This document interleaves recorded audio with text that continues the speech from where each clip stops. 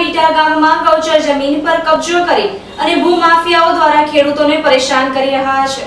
અબડાસાના બીટા ગામમાં ગૌચર જમીન ઉપર કબજો કરીને મશીનથી સાફ કરાવીને ગામના લોકોએ જમીન વાવી હતી.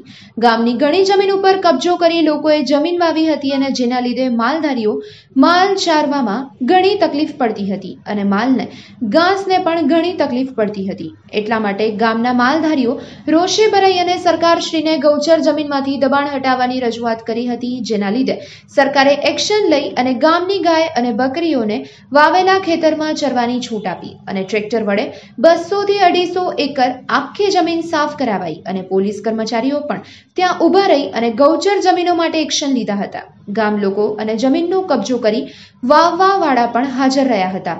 હજી પણ ઘણા ગામોમાં ઘણી એવી ગૌચર જમીનો છે જેના પર લોકોએ કબજો કર્યો છે અને માલધારીઓને માલ ચરાવવામાં ઘણી તકલીફ પણ પડી રહી છે. અને બિચારા અબોલા જીવો માટે ક્યાં પણ ઘાસ ખાવા માટે જમીનો નથી મૂકી અને ગાય ભેંસના રસ્તા પણ બંધ કરી દેવામાં આવ્યા છે. તો આવા ભૂમાફિયાઓ ઉપર તાત્કાલિક ધોરણે પગલાં ભરવામાં આવે તેવી માલધારીઓ દ્વારા માંગ કરવામાં આવી છે.